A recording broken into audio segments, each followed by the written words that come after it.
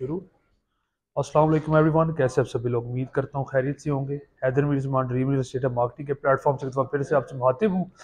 Mid town Jhelum के head office में मौजूद हूँ। काम शाम हो रहा मैंने कहा, आज आपको डेवलपमेंट के बारे में बताऊँ कि कहाँ पर आज पोजेशन दी जा रही है। तो अभी उस तरफ़ चलते हैं तो आपको जनाब बताते हैं।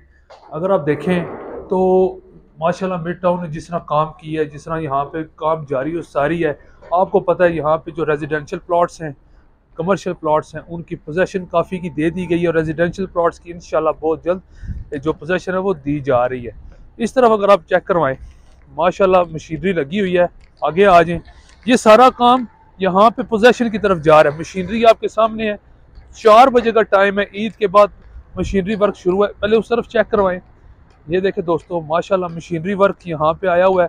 सामने आपके जो कमर्शियल प्लॉट्स हैं, वो रेडी हो रहे हैं। सामने हमारा जो वी सेवन हाइट्स की बिल्डिंग है, वो रेडी है हेड ऑफ़िस तैयार हो रहा है।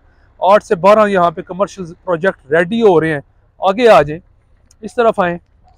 तो आपको लेके चलते हैं। आपको मैं थोड़ा सा दोस्तों बताना चाहता हूँ कि यहाँ पे जो पोजेशन की तरफ़ हम जा कैसे रहे हैं और इतनी जल्दी पोजेशन देने का मकसद ये है कि लोगों का अतमाद मिड टाउन में बहाल हो कि हम यहाँ पे काम करने आए हैं। ये देखें लाइटिंग पोल्स आप चेक करवाएँ। आगे हो जाएँ।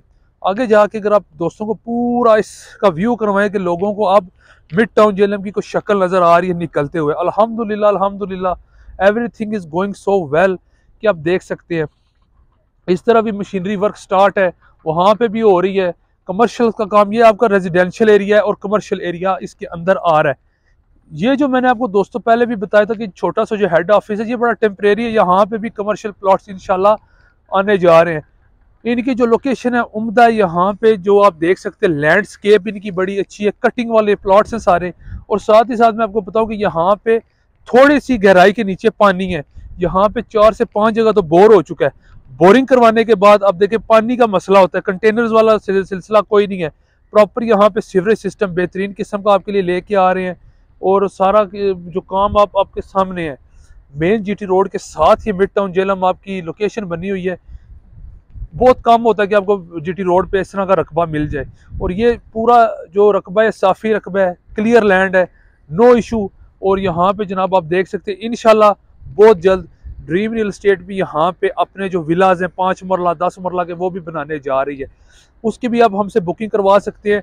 और साथ ही साथ हमारा जो कमर्शियल प्रोजेक्ट्स है, वो मैं आपको साथ साथ अपडेट देता रहता हूँ। किसी भी किस्म की बुकिंग को यकीनी बनाने के लिए आप आज ही हमसे रबता करें। और अपनी जो पोजेशन है, अपने प्लॉट्स की, जो बुकिंग को यकीनी बनाएँ।